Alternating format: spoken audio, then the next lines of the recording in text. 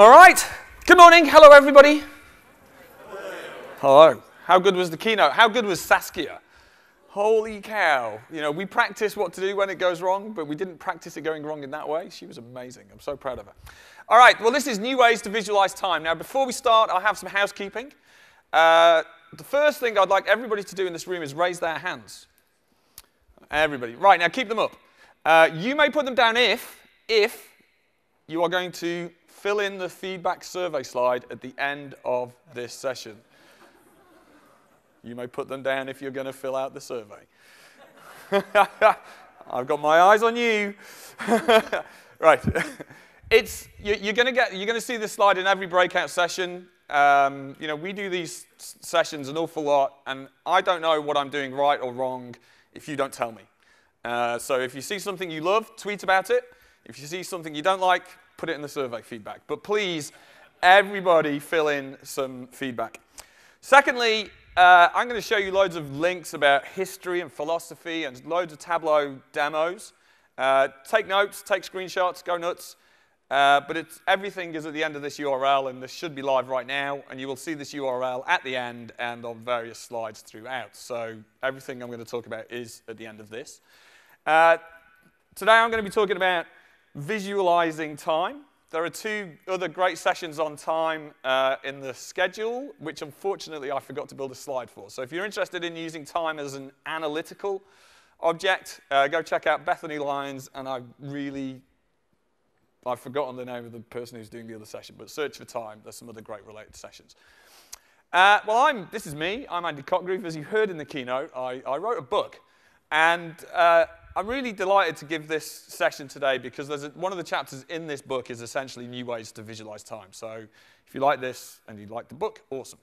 Uh, as James said, I've been using Tableau for over 10 years, and writing the book was a big itch, and releasing it was a great honor and privilege. Reviews were generally really good on Amazon, so that's been uh, incredible. But I'll share with you my favorite review of all. This is my daughter Lucy.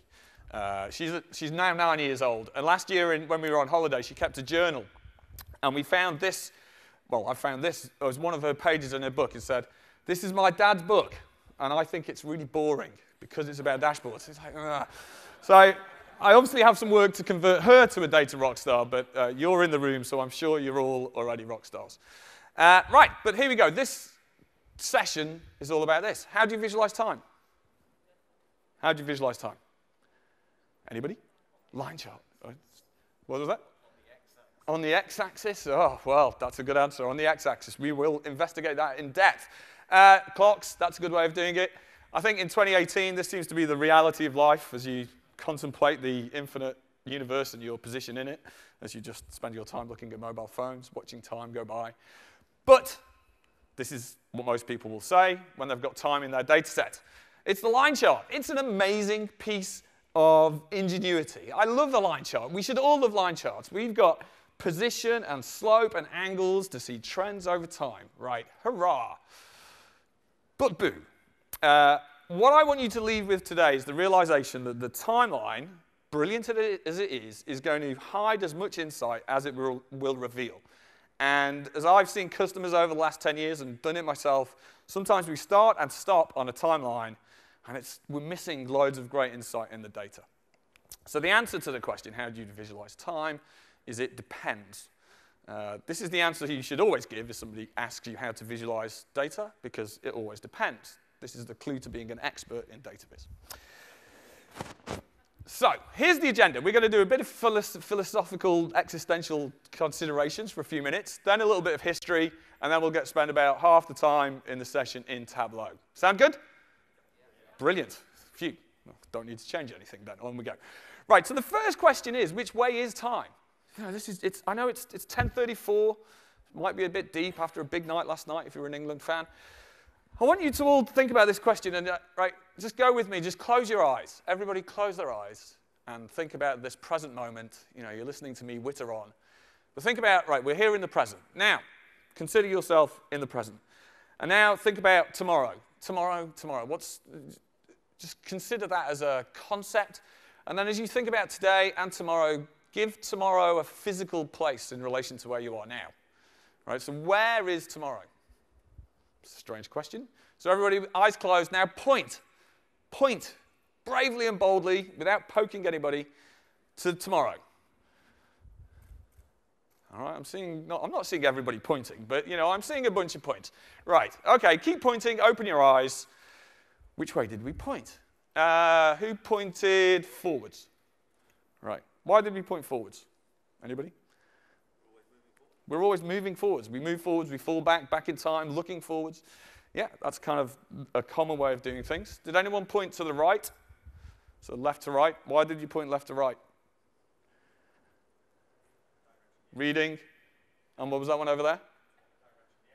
It's the direction of the x-axis. Yeah, we're so conditioned, right? We read left to right in the Western world, uh, and that's, that's kind of the way we do it. Did anybody go up or down? Yeah, why? Growth opportunity. Nice, I like it. Positive thinking. Any reason why you went up? So you don't poke anybody. Brilliant. Right.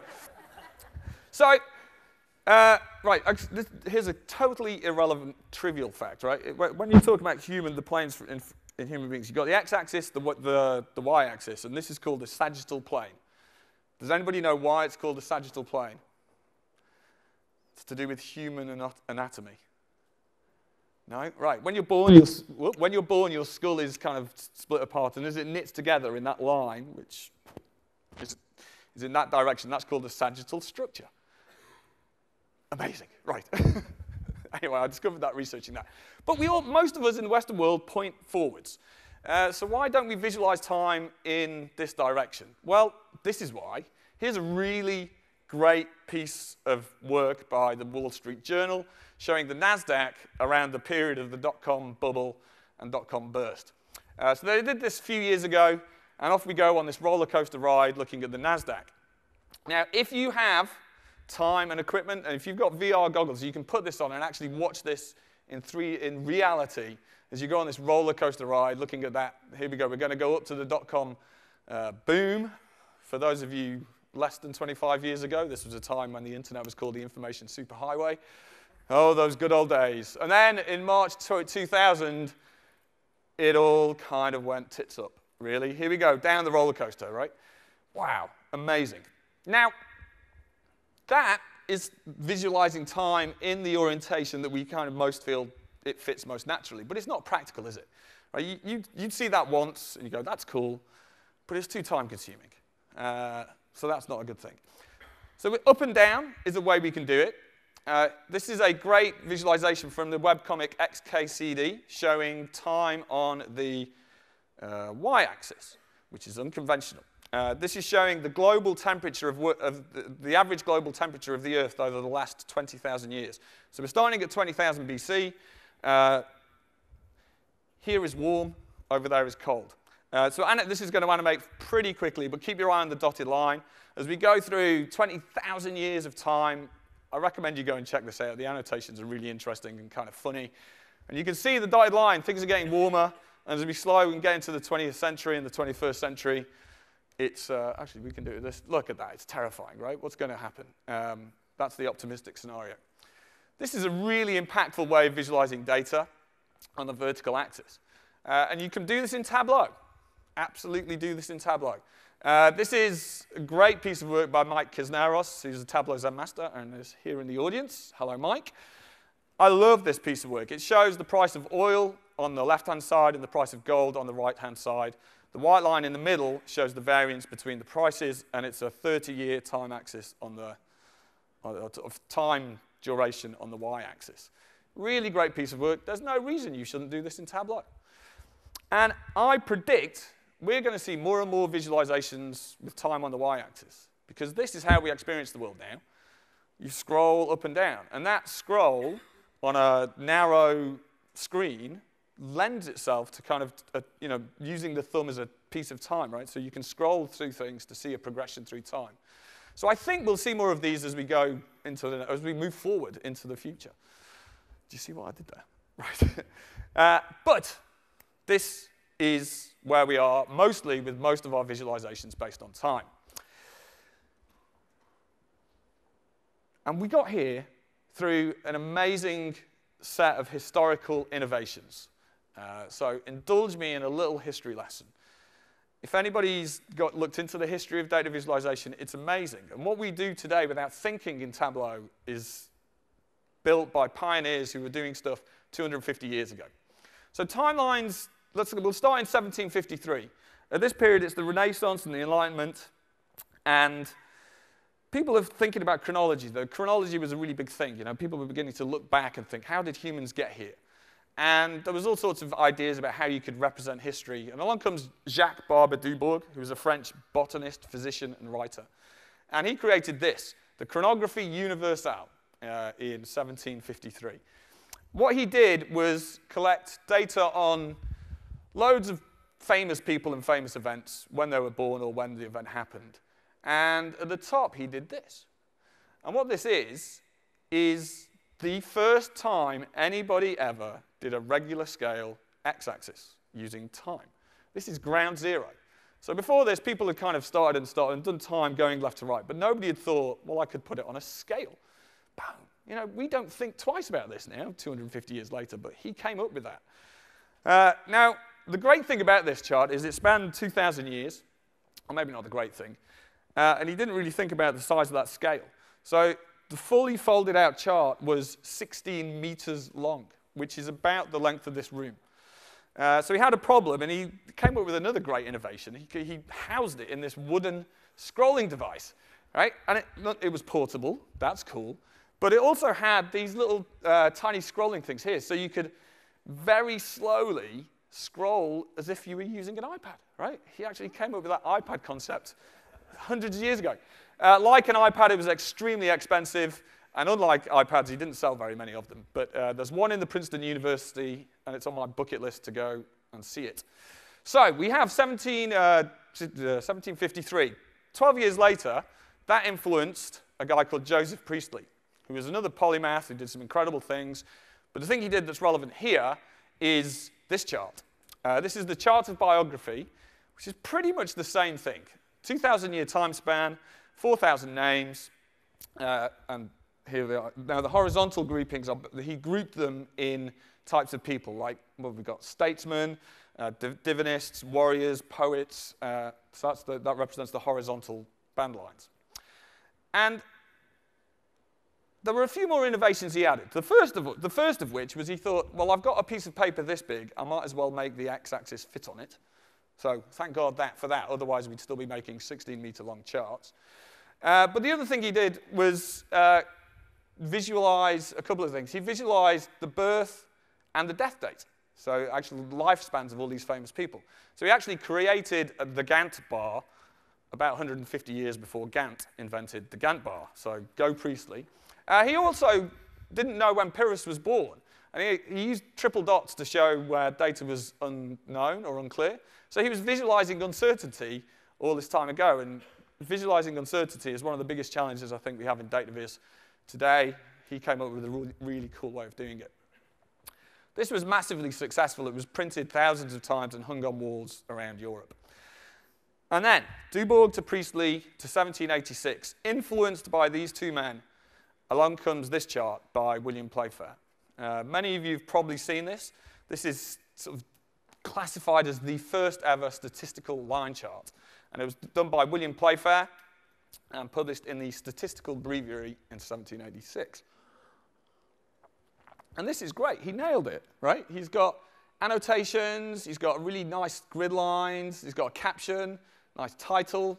Uh, this is showing economic, a comparison of eco economic imports between Denmark, England, and Norway.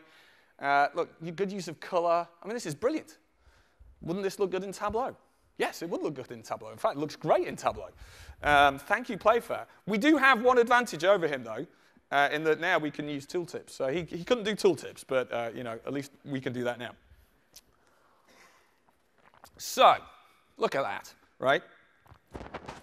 We just throw a pill on a shelf, you show me to visualize time, and yet what you're doing is using at least 250 years of history uh, of people who are creating these new ideas with pen and paper and with no previous experience of data visualization. They were intuiting incredible ways to visualize time.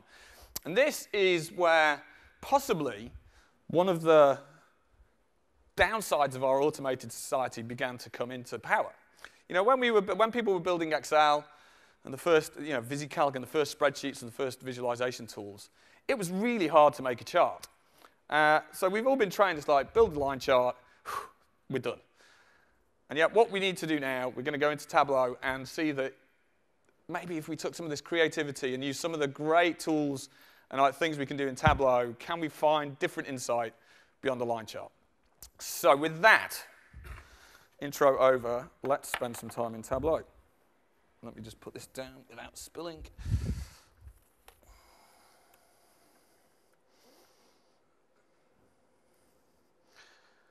Ding, ding.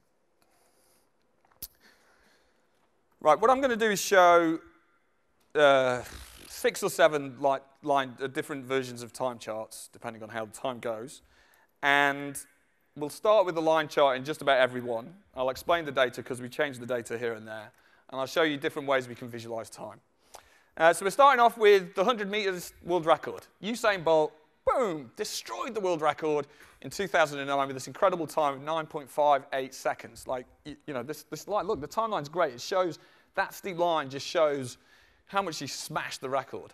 And you can see that this is a time span of uh, 100 years. So we have a timeline. This is great. We can see, what was it, Jesse Owens was at 10.2 in 1936. And it, it wasn't until 20 years later that Willie Williams broke the record with 10.1 seconds in 1956. Line chart, good, right? But the issue is, this isn't really what happened to the record. Oh, there's a text from my wife. we'll ignore that. I'll tell you a story about one day I didn't ignore one of those messages on a live stream in front of thousands of people, but I'll save that one for day to night out. yeah, right. Anyway, uh, so, right, where was I? The timeline, right. The, the, the record did not do this. The, the, there wasn't like a 10.3 second record in the middle of this time period. So I just want to show one of the new features we've added in Tableau this year, um, something called the step line. When you have a line chart, you can hit the path shelf, and then you can choose the different line type. You can do a step line. Boom, and we're done. Now, this is great for this kind of data because Jesse Owens set the record at 10.2, and the, the record was 10.2 seconds all the way until 1956, and then at that 10 second moment when Willie broke it. Uh, you can also remove the drop line with this by using the right hand side, uh, right hand one of these options. And again, this is just down to the nature of the data, uh, what, what, what's the most relevant thing to show. And uh, a nice thing you can build is, you know, here I've built the same chart, but I've done a dual axis chart. So you've got a dot and a label for Jesse Owens, and you can see each of these uh, 100 meter records there. So that's called the step line, and we added that in 10 point something this year, uh, but it's now in Tableau when you upgrade to the latest version.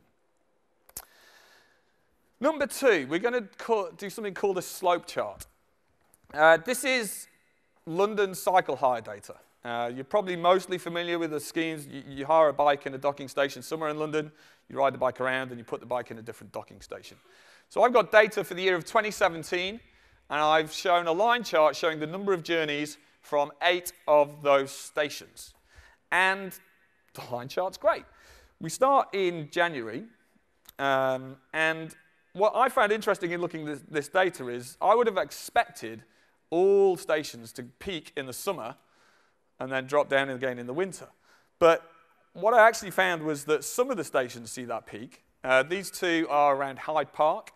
So what we're obviously seeing is a lot of leisure riding in the summer, whereas some of the other stations actually don't see that peak at all. And these are kind of the more commuter belt ones where it's a little bit more uh, consistent. So this is great. The timeline's showing me something really interesting.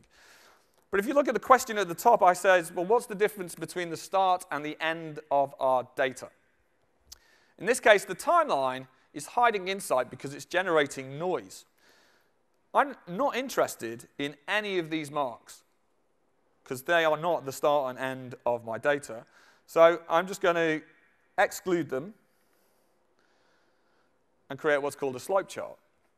Now, what I love about this is that there's something hiding in this data that I bet nobody saw.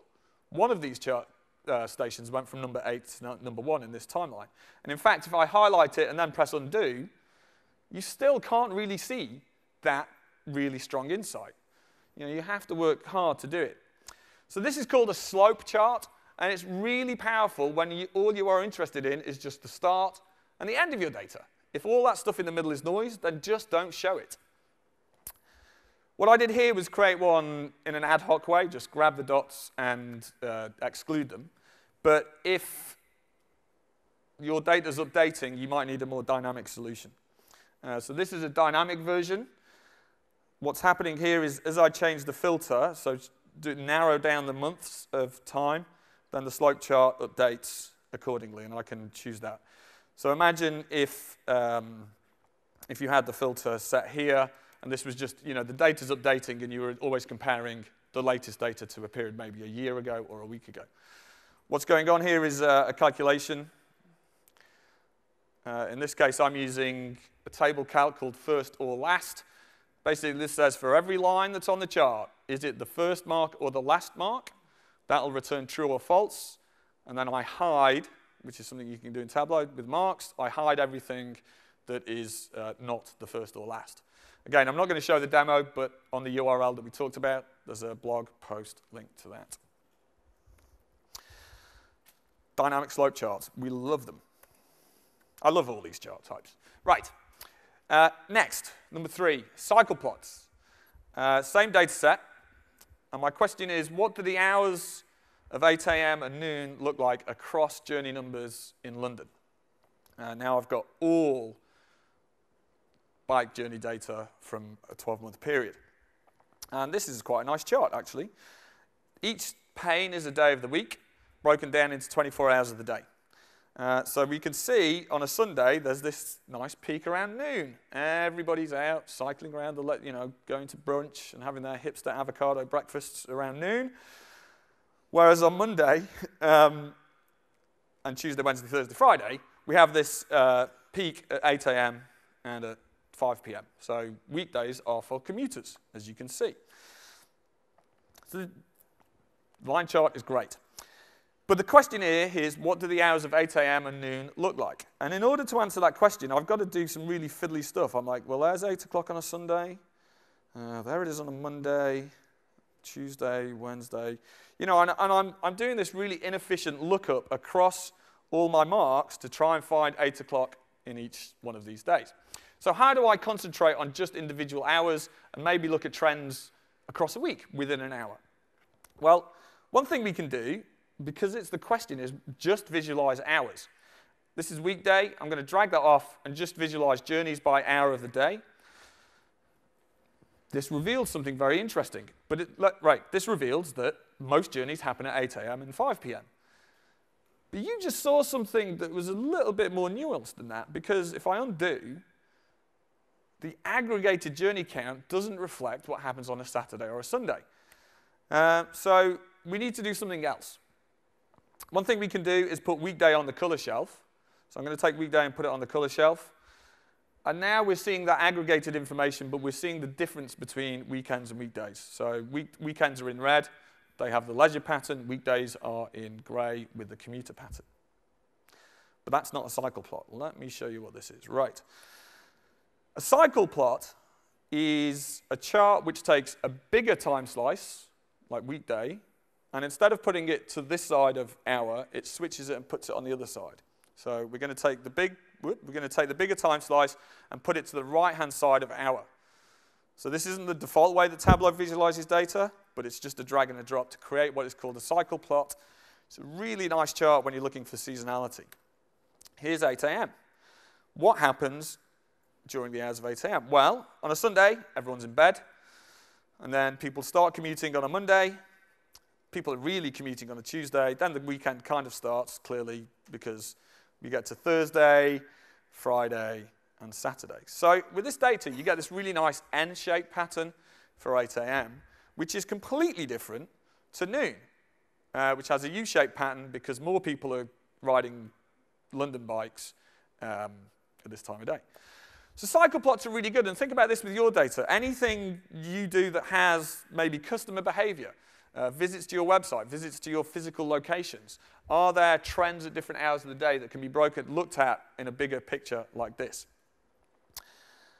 So that's the cycle plot. Um, sometimes this might be better for your needs because one of the downsides of a cycle plot is it needs to be quite wide. And if you're going to put this on a dashboard, you need quite a lot of real estate. Uh, so you can, you know, one like this can be made really small and we can still see lots of the difference very clearly. Okay. So I'm now going to switch to a, a, a very sober data set. Uh, and the reason I use this is I, I, blogged a lot about this data set a couple of years ago, and it's uh, fatalities on the roads in the US. Uh, in this case, I've got 1994 to 2016, so two years ago. This is the latest data available. And again, I want to find seasonal trends. Now, the timeline is showing something interesting as always. Uh, we can see the peak year, uh, 43,000 uh, fatalities on roads in the US in 2005, and then things dropped around 2009. Uh, this was partly because of the economic downturn, but also because of new policies on child restraints in the back of cars. So great. And then you can see a plateau for several years, and then unfortunately this rise since 2014, which is 14% more fatalities since then.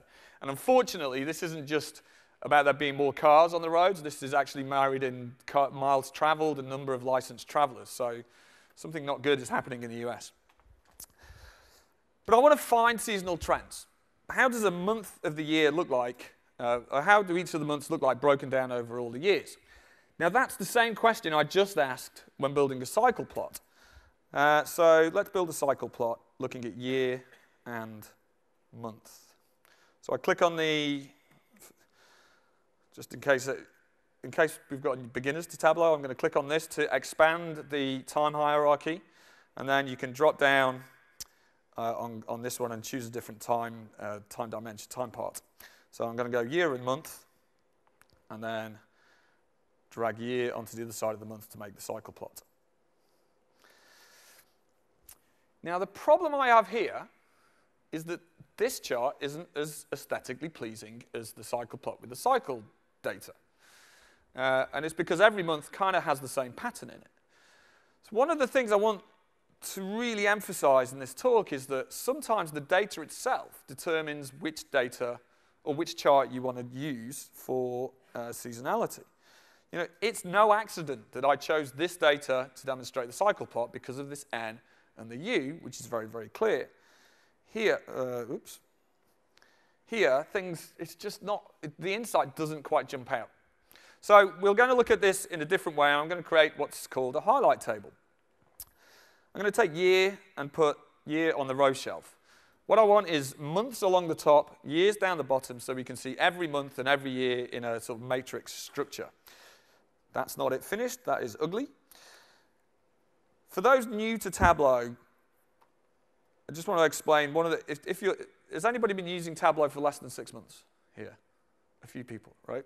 One of the things I highly recommend you focus on getting fundamentally in your head is the difference between green and blue pills. Once you understand this, you're going to have like, you're going to be able to make Tableau do anything. When you have a green continuous pill on a shelf, Tableau will draw an axis, right?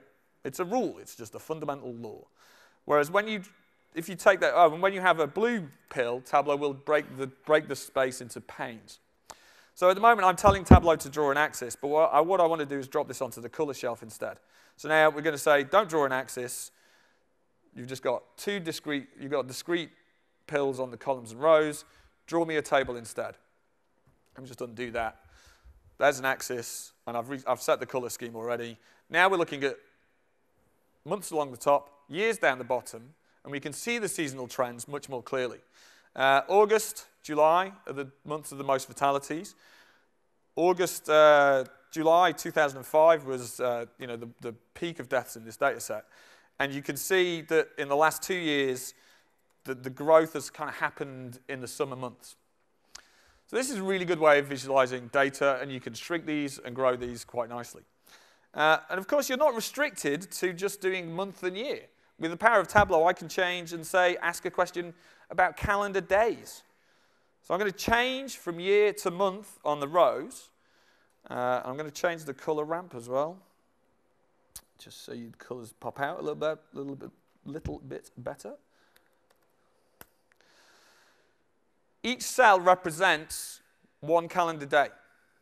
And what jumps out here is, in fact, it's today, July the 4th, is the most dangerous day to be on the roads in the US. Right? I mean, God, that's today. That's, that's awful, isn't it? Uh, also, January the 1st, New Year's Day. So the highlight table, this is great. You can just play, you know, quarter, month, week, just play around with these things on the columns and rows, and all sorts of stuff will jump out at you. And now we can talk about one of the big challenges that I think we all face, and I've has been a perpetual challenge since I started using Tableau and 10 years ago. Uh, let me know if this is familiar. You fall in love with Tableau or the idea of data visualization. You are like, boss, we need to buy this product. Tableau is going to change everything, or data visualization is going to change everything. You're all excited, but then you get worn down by the, I just want a crosstab. Yeah, right. We know that, right? Just show me the table of numbers. right. I don't have the magic answer to that question, I'm afraid. But there are some things we might be able to do with this to give that boss a little teaser and sort of pull them, pull them down the path to the beauty of data. Uh, so here's, here's a highlight table, looking good. Why not put the number inside the highlight table as well?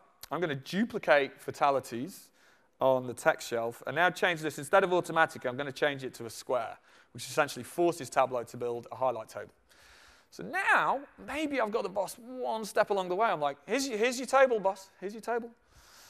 But we can look at the numbers, we have the eyes drawn to the numbers that are most important. And then I think we can go one step further. You can go, here's your table, boss. But you know what you could do? Well, you know what you could do as the Tableau analyst is do one of the new features we added again this year is the Viz in tooltip. So I'm going to give the boss this crosstab, and then I'm going to insert a sheet. So this is a Viz in tooltip. I've gone into the tooltip, I've done insert sheet, and then I've got loads of sheets in here. Whoops. Uh, I'm going to add in fatalities per hour. Uh, you can play around with some of these settings, and I'm going to click OK. And now we get them to look at July the 4th, and the chart shows fatalities per hour for hour of the day on July the 4th over this time period. Now, this is, I mean, this is, this is a very sober data set. I, I apologize for bringing this data into it. But what you can see is that on today, the most of the fatalities are going to be in the evening. Uh, so that's kind of over here on the right-hand side. Whereas in, on January the 1st, most of the fatalities happen in the early morning. So this is incredible insight with the highlight table broken down with a Viz in tooltip. And you know, the, but these ideas could be the steps you could do to try and get people away from, you know, be like, crosstabs are great. I like a crosstab, right? Woo, it's cool. But you can maybe pull people along with you to the idea of this, and maybe one day they'll invert it and say, show me the line chart and put me the, give me the crosstab inside there instead.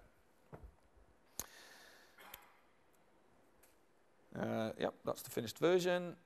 Where are we, where are we going next? All right, let's show a much happier crosstab. How common is your birthday? This is one of my favorite uh, crosstabs ever. I think Andy Kriebel was the first one to build one of these. This, this version exists in, in our book. Is anybody's birthday today? Yes, happy birthday. All right. Woo. Uh, what, what, what's your nationality? Are you English? German. Okay, unfortunately, I don't have German data. But what, what this is showing, this is showing every calendar day colored by the rank of popularity of that birthday in sort of all 366 days in a year. So July the 4th is the 33rd most popular birthday in, the, in England and Wales. And if you're one step ahead of me, I mean, this, this data is incredible. July the 4th in the US is ranked 361 because no hospital employees want to work on July the 4th. So nobody gets born on this day. Uh, you can see the same thing. Thanksgiving is really low. Uh, Christmas Day, oh yeah, Christmas Day. Anybody on the 26th or the 25th? Yeah, what's, what's your birthday? 25th. 25th. Yeah, look, you are um, 365th. I mean, the three. What's actually what's amazing about this is 26th of December is actually ranked lower than February the 29th, which baffles me but it's true, right? So we can see these holes in the data, and you can see July, August, and September are the busiest uh, months in both. Does anybody have a birthday on the 26th of September? You do? Oh, I love it when this works. 26th of September, you are number one. That's amazing. Did you know that? Are you English? Oh, it might be. it might be. I don't know what it is. It's, uh, 27th in the US. Uh, two, two last things I love about this. Look at this, this horizontal stripe here. Um, look at it. This is the 13th. And notice how I, I can't. Notice how the 13th just has this little blip. People don't. People are superstitious. And Valentine's Day, for some reason, has a little spike in the US. Anybody on the 14th of Feb? No? Because oh, I'm like, that seems a bit strange to me, but anyway. Anyway, so highlight tables are great. And the reason I show you this is because if we plot, the, this is the line chart of live births by day in England and Wales in 2014. Uh, and it's like, ugh, that's crazy, right? The line chart is not very pleasing on the eye. It actually does show something extremely interesting. All of these troughs are weekends. So lots of births Monday to Friday, lots of doctors playing golf on a Saturday and Sunday. Um, so it reveals a lot about how birth is managed as a service in England, Wales, and US. So there we go. That's a highlight table. I'm going to show you one more highlight table. Uh, and we, I'm going to flip the data set on you. We're now looking at drought in the US. Uh, okay, so this is another highlight table, year down the side, months along the top. Red is a time of severe drought in the USA. Same trick you can have. Here's uh, July 2012. You can break it down, show the states in the tooltip so you can get a nice little uh, indication of what's going on. But the reason I show you this one is because actually that's a whole set, all that red cell, why not put the map inside the square instead of on the tooltip and create what's called a small multiple. So to do that, I need to put state onto detail and latitude onto the correct shelf. Right, I'm going to drop latitude on a shelf. Hands up if you always put latitude on the wrong shelf first. Yeah, right. I've done this demo thousands of times, so hopefully I'll get it right first time. Latitude and longitude, boom, look at that. A small multiple map. Uh, here's one I prepared earlier. No, here's one I prepared earlier. Showing the drought index in the US from 2007 to 2018. Uh, this was inspired by this was inspired by a wonderful piece of work that the New York Times did. Uh, you can actually go and download this data from 1895 to 2014. It's pretty cool. But this shows us more than the highlight table did. Uh, you can see 20, 2012 was a really bad year for drought in the US, but actually Washington and Oregon and some of those northwest states didn't experience something so bad. It was really bad in California. And with interactivity, you can just press a, set, press a state and highlight that state across all those years. Uh, what you're seeing here is actually that three to four year cycle of drought to not drought, back to drought, and that's the El Nino effect, the weather uh, system that affects the Pacific Rim every few years. So the point of this one is highlight tables. We love highlight tables, uh, but within that space on the, on the within that sort of cell, you can draw a chart. It could be a line chart, a map, or various other things. And there's another version of the same thing. Oh, that's the entire thing. Right. Uh, Let's just go back to the US road fatalities data. Why did I switch data and not draw a small multiple in this chart with this data set? Well, let's have a look. Here is that same small multiple, the same structure, years uh, down the side and month, oops, month along the top. The reason I didn't build that chart is because the, the chart is really boring. Uh, unfortunately, fatalities in the US are in the same place every month. I mean, it's largely driven by population, California, Texas, and Florida. But again, the point is, I showed you this in the cycle plot. Be driven by the data. When you are exploring data, it's not just a case of going, I want to look at seasonality, therefore Tableau said draw a cycle plot or a highlight table. The data will tell you which chart you need to show too. So we'll always be exploring to find the best articulation of the data. All right, last one, and then we will go back to uh, PowerPoint and wrap up. Uh, we're looking at YouTube data. Unfortunately, we can't update this data set because they don't report the data anymore. But these are from August 2016. These were the 10 most popular videos on YouTube. Um, should have, I should have done a pop quiz here, see if you could guess which ones they were, but some of you can read that uh, legend. Uh, so this is views over time of the 10 most popular views videos in YouTube. Uh, Gangnam Style. Do you remember internet prehistory in 2012? Uh, 72 million people watched that video in a single week. Most of them, I believe, were Matt Francis. Uh, but, and that felt amazing. That was like, wow, YouTube revolution. But that was dwarfed in 25th of October 2015 with Adele. 129 million people. Boom, that's amazing.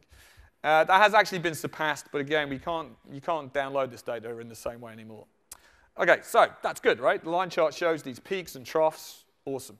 But the question at the top says, which one hit 1 billion views first? I have no idea, because the line chart is hiding the answer to that question. In order to solve this, we need what is called an index chart. What we do with an index chart is change the x-axis. Instead of putting time on the x-axis, we show an index of days since something happened. Right? So in this case, I want to know how many people viewed each of these videos since the first day it was released. So at the moment, we've got things happening at different time periods. I want to collapse all those time periods and say, well, this is the release day of that thing. And for that, we need to do an index chart, which Again, this is the most complicated chart I'm going to build. I've pre-built all the uh, calculations just in the interest of time, and there is a blog post to go and find this. So what we need is an index. Oh, no, no, no. First, what we need is a running total field. So I'm going to put running total onto the row shelf, and instead of counting the views week by week, we just accumulate them over time. So there's a running total. Uh, you know, it's a bit easier to answer the question. I'll add a constant line for a billion rows so we can see where it is. Uh, so I'm dragging constant line onto the measure I want to choose. And then a billion is what? One, one, two, three, four, five, six, seven, eight, nine. That looks about right. And now the complicated bit. I, it, instead of week, I need to use the index chart, the index field. So this is just a calculation that looks at a, a series, in this case a line, and says, just give me an index 0 to x for each one of these. So I'm going to put that on here. I'm going to take week off. I need to put, uh, I need, in this case, I need a discrete date for every date field. Boom, did it. Right, if you didn't follow the instructions, go and look at the blog post. Um, but here we go. Here's my answer. Uh, this is an index chart. Adele took Oh no, where's the. Oh, I should. Say, right, let's reset the tooltips. Adele took 90 days for a billion people to watch that video. Just, it's just incredible. Whereas Gangnam Style, the granddaddy of like hugely watched videos, took 160 days. Uh, Taylor Swift, Shake It Off, my favorite, uh, took. I, I have kids. I have two girls, right? You've seen one of them. I have girls. We've listened to. We've listened and watched this video many, many times. Um, it was a good video, though, right? Yeah, surely. Uh, anyway, I digress. It took a year for that to hit a billion. One of the things we're seeing, actually, if you do look at the top 10 YouTube videos, is you see these things now. Uh, this is a Russian cartoon, Russian animation. There's a lot of these slow burners. And now, as uh, a lot of kids are being let to watch a lot of YouTube, you're seeing these things take over as the most watched videos on YouTube, which personally I find a little scary, but uh, that's what this one is. Whew, right. There you go. That was six charts. Everyone worn out? Somebody want to see one more? Wow, wow. Hey, careful. Do you want to see 10 more? 20. 20. Oh, I've got loads more. I'll just show one. Um, animation's interesting. So I'm going to take you back to the summer of 2016 while there was an election going on. And this, this was a viz we did with Makeover Monday, and it shows polling data uh, nearly until the election of Trump and Clinton.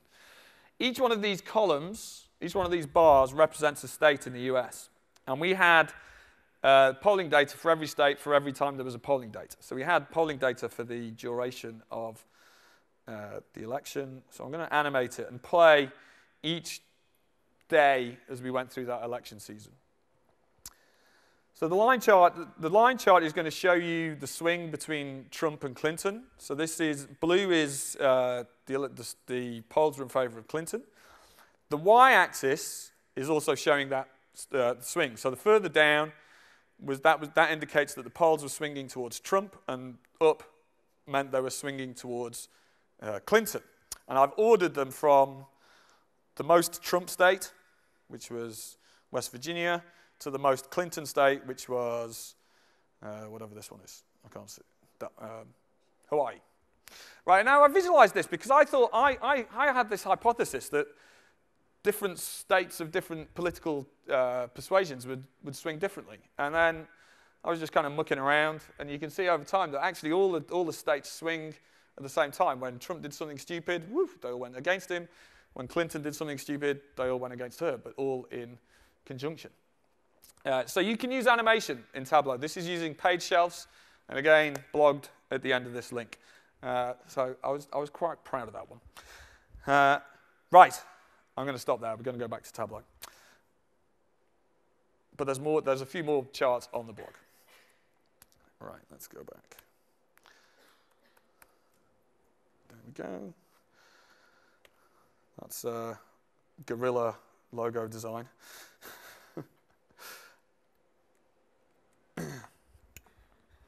so here we go. Uh, well, we saw it in Tableau, didn't we? So let's recap. Um, hopefully you've enjoyed seeing those six charts. Hopefully they're giving you some ideas. Uh, in recap, there are three things I want you to take away.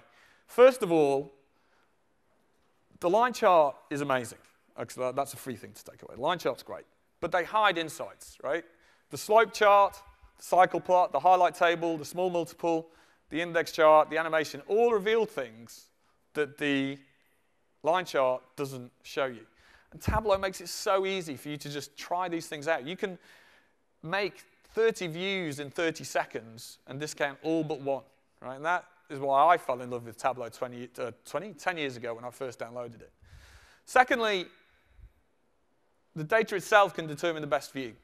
Uh, the cycle data makes a great cycle plot, but the fatalities, fatalities data didn't.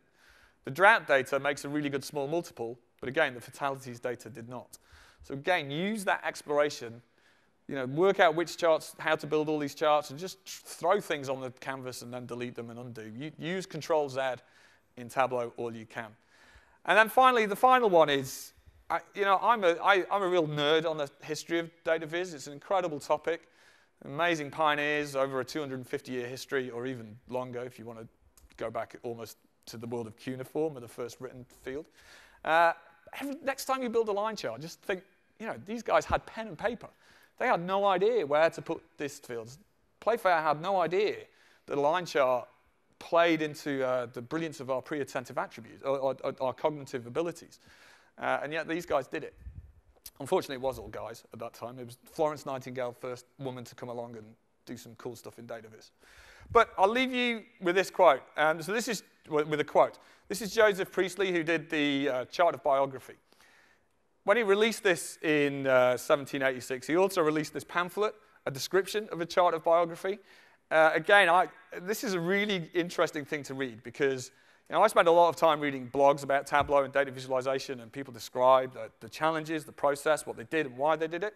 That's what this does. This is a 20-page blog explaining the challenges of data visualization and how we found the data. Right? Not only that, he actually printed all the underlying data in the pamphlet. So you could go and rebuild this chart uh, if, you, if you could be bothered digitizing all those 4,000 names. Uh, but he, was, you know, he would have been a Tableau Zen master, right? He was an absolute data rock star. Uh, and there's many great quotes in the book, but there's one that I love, which is it's a quote that comes in two parts. The first bit is about data collection and cleaning, and the second part of the quote is about visual exploration. Uh, so I'll leave you with this. He says, laborious and tedious as the compilation of this work has been, if, we, if he'd had Tableau prep, I mean, it would have been easy, right? But he didn't. But then he went on to say, um, a variety of views were continually opening upon me during the execution of it. And this, this is what I want every single Tableau user around the world to be doing. It's that joy of just dragging and dropping fields around and being like, oh, this is interesting, this is interesting, this is interesting, and finding that best articulation of the data. Because that's what I fell in love with 10 years ago. That's why I'm still working with this company. And that's what I hope you all can get from your data. Uh, so I'm afraid I've got, I haven't got time for questions because I've got to shoot off. So with that, you all put your hand up. You all put your hand up, so I expect you all to fill in the session survey. All the information I've just given you is available at the end of this URL. I hope you have a really good conference. Uh, I'd like to thank you very much for your time. Thank you.